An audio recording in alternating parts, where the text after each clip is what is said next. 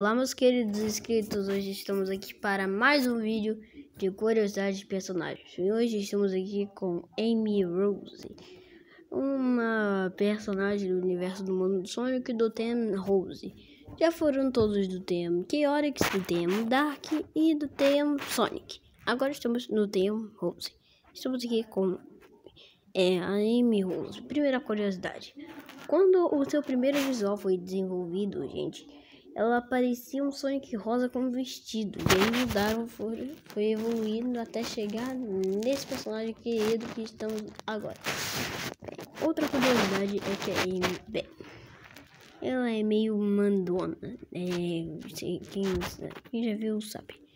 É, poucas curiosidades, não tem nada mais de muito interessante. Também ela tinha seu marrer, só marreta que eu esqueci o nome. Ela, sim, a marreta dela tem um nome.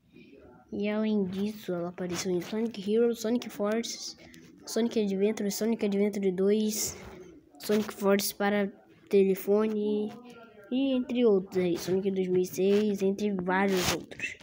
Bem, se inscreva para mais curiosidades. Muito obrigado, tchau, tchau.